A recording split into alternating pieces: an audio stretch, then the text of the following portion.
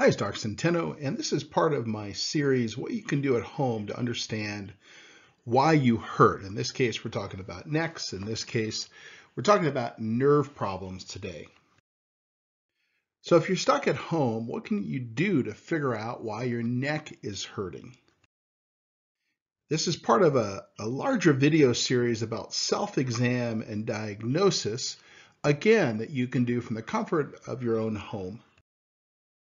And I'm going to share my physical exam secrets learned over a lifetime of treating patients in pain. So understanding your neck nerves can actually pinpoint exactly where you have a problem. So if you do this self-exam, you can find out quite a bit about where your issues live. Each nerve in the neck comes out near its disc, and you can see that picture there. And each bone in the neck is numbered C1 through C7, as is each nerve. So to test the nerves in your neck, you'll need a pin or safety pin and just your finger. You're going to test them both ways, with the pin and with your finger.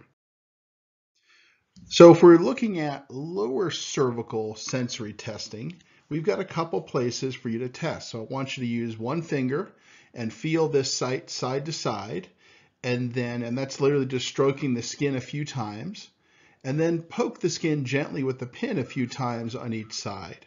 And do this uh, enough to get a sense of whether or not they're equal and exactly the same or any different.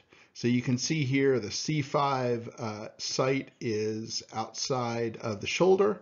The C6 site is the thumb. The C7 site is the middle finger.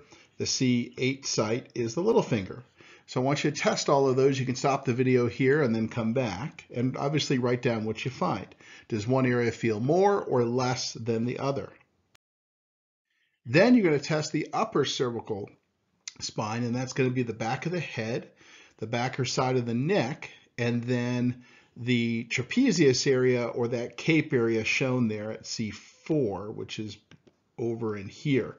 And again, stop the video and test those in the same way and write that down.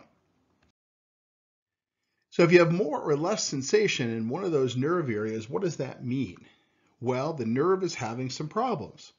And that also localizes where the issues are in your neck, much more accurately than even an MRI can, because a lot of times you don't see much in the MRI, and this is the exam that I rely on to plan my care.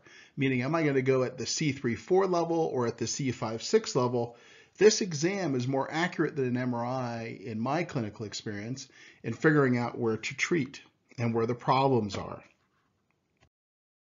So you can actually trace your nerve findings now that you've written them down back to the disc or neck level. So again, if you had side-to-side -side differences, for example, at C2, that goes back to the C1-2 level.